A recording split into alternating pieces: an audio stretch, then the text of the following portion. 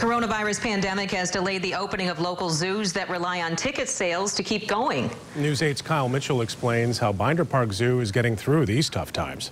Last year at this time, there would be people lined up here at the zoo.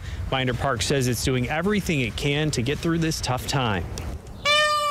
If it wasn't for the sounds of the animals, Binder Park Zoo near Battle Creek would be a pretty quiet place. Every day that our gate is not open, um, you know, that's revenue that's lost. Leslie Walsh, the manager of marketing and development at Binder Park Zoo, says the staff is waiting to reopen when it's safe and when state regulations allow. We've already lost a lot, and I think that our community, including families and other businesses and organizations, are all going to need time to recover, including us. Unlike most other zoos, Binder Park does not receive funding from local tax dollars, making ticket sales even more crucial. Our gate sales, our in-park sales, uh, our education programs, donations, our special events, those all go into the mix that funds our zoo. Even though the public can't visit, the work never stops when looking after animals. They need to be cared for, they need to be fed, uh, their areas kept clean. To keep a virtual eye on the zoo, Binder Park is now streaming on its website.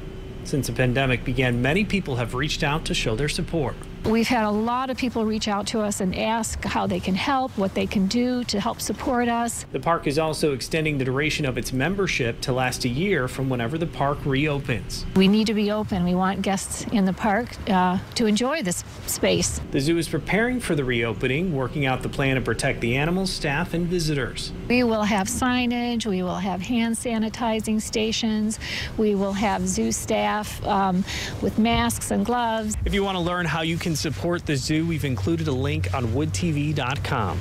Reporting from Binder Park Zoo, Kyle Mitchell, News 8.